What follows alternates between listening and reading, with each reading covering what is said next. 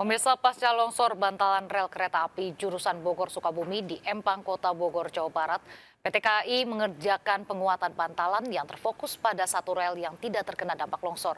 PT KAI Daop 1 Jakarta memastikan satu jalur rel bisa digunakan setelah dilakukan penguatan konstruksi.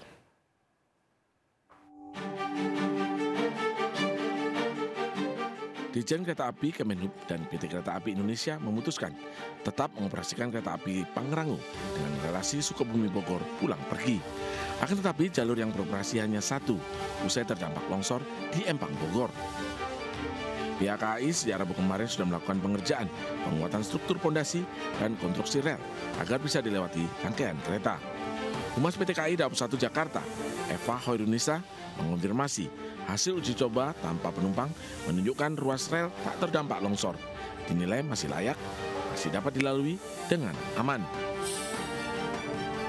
Sebelum diputuskan aman uh, operasional KA, memang sempat dilakukan beberapa kali uji coba menggunakan menjalankan lokomotif dan terakhir tadi pagi ya uh, dilakukan uji coba kembali dengan pemberangkatan uh, kereta dari stasiun Sukabumi pukul 5.30 uh, dan hasilnya uh, dari pantauan lapangan uh, secara keseluruhan uh, jalur tersebut aman untuk dilintasi uh, KA Pangrango.